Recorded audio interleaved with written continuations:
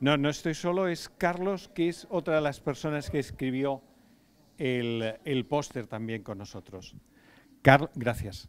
Carlos es además alumno de cuarto de A de terminar estos días. Imaginaos que estamos utilizando el aula y todo el tiempo disponible para no solo enseñar, sino para hacer una comunidad basada en qué? En lo que van a tener que hacer ellos, basada en gobernar personas dentro del ámbito de la empresa. Esto es el programa preceptor número 11 y estaremos encantados de ayudaros. ¿Cómo?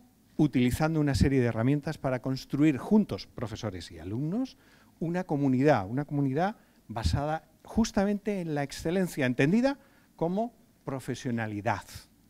Se les enseña en primer lugar, se les acompaña en segundo lugar, después se les pide que ellos acompañen a los alumnos de segundo, son alumnos de tercero y de cuarto que acompañan a los de segundo, y finalmente ellos son los que gobiernan, porque se les delega.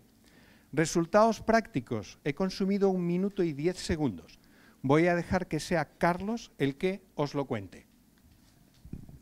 Gracias, Rafael. Bueno, mi experiencia ha sido la misma que otros muchos de los compañeros que están presentes. Eh, hablaros de que, bueno, en mi caso hay tres aspectos que me gustaría eh, comentar. Primero es el trabajo en equipo. Y es que en el día a día de mis prácticas me ha exigido el conocer la mejor forma de trabajar en equipo y el programa me ha permitido, em, me ha permitido practicar y poner en conocimientos todas esas experiencias a través de la adquisición de, experiencia en el gobierno de personas. Segundo es el gobierno de las personas. En la universidad escuchamos y aprendemos sobre el liderazgo. En, en cuanto a nuestro proyecto, ponemos en práctica ese liderazgo y vamos un paso más allá, que es el gobierno de las personas. Por último, y falta el tiempo, hablar del último, que es la unidad y sentido del aprendido. Lo que hemos podido poner en práctica es el conocimiento adquirido tanto en las asignaturas de tercero, de cuarto curso, con los alumnos de segundo.